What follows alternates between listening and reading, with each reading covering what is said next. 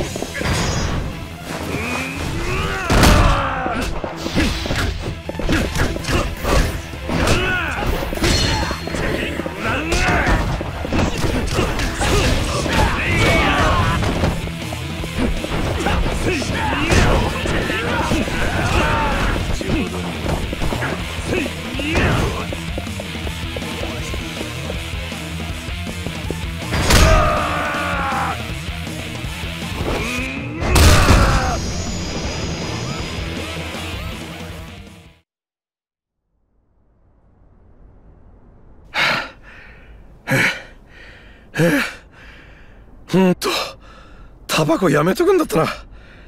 こんなんだったら。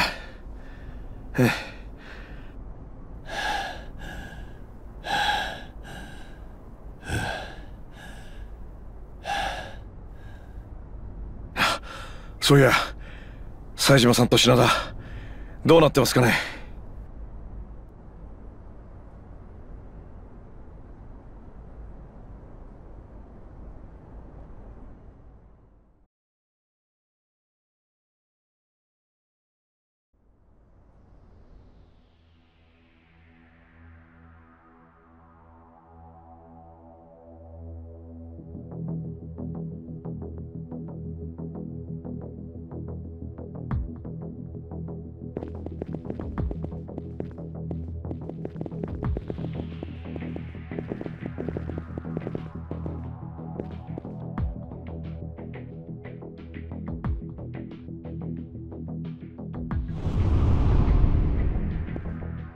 そまだ嫌がったのか。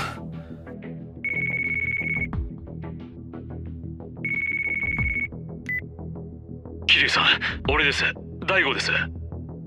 大悟？お前意識を取り戻したのか？詳しい説明は後でします。それより黒沢の本当の目的は桐生さんたちの命でもカムロ町でもありません。登場会それに近江連合そのものをある男に受け渡すためのものだったんです。ある男だと。誰なんだそれは。とにかく今は時間がない。お願いします。今すぐ登場会本部に向かってください。行けば全てがわかるはずです。分かった。ここは任せてください桐生さん。今すぐ行かなきゃならない場所があるんですよね。だが。どっちにしても俺はあの金井ってバケモンとケリをつける必要があるんです。それに俺はこの町の住人だ。町を壊したあいつらを許してはおけない。ここは俺に譲って。さあ。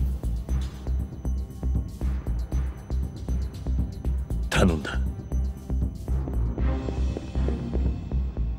さあこれで俺もこの町の伝説になれるかな。行くぞカナエ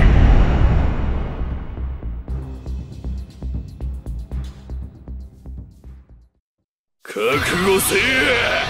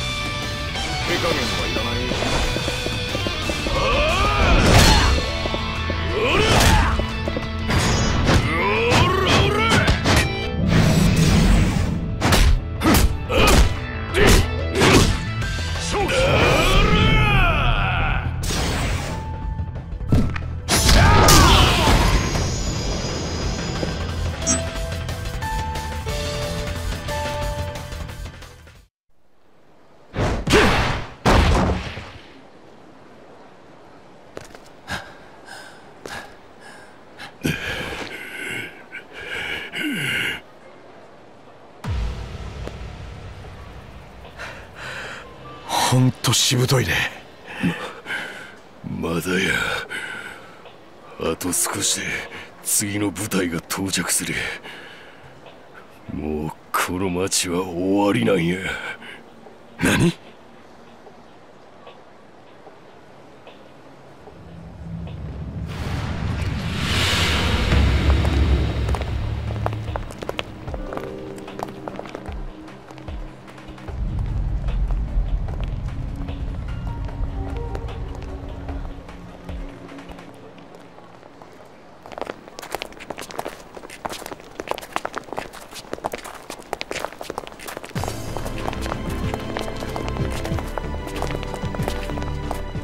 誰やあいつら。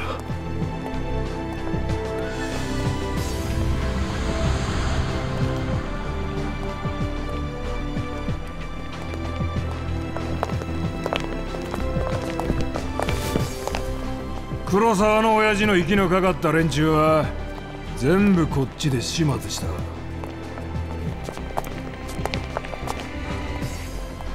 んやと踊れらが自分勝手な夢描いてる間にわしらはわしらでもっと大きな夢に向かって動いとった。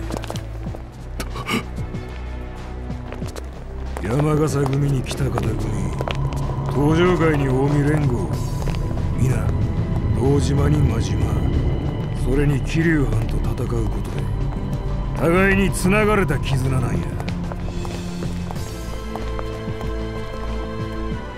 もう踊れらの好きにはさせん。踊れらの敵はこの国の極道全員じゃ!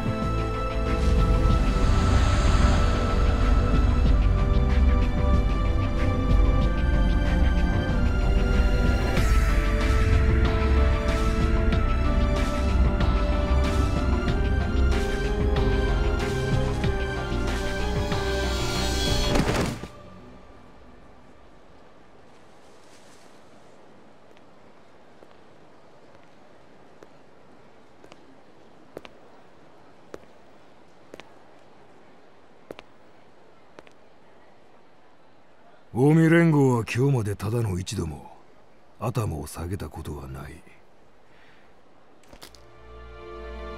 それが近江が最強たるゆえんや。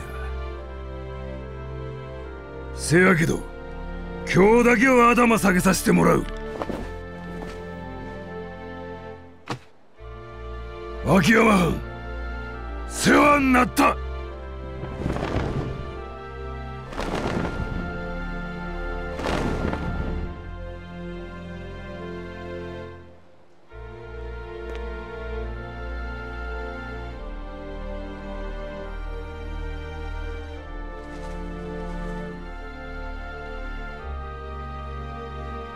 どうや？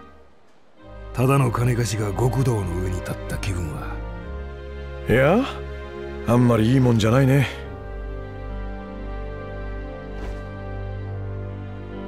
あんたって人の器のデカさが身に染みてわかるよ。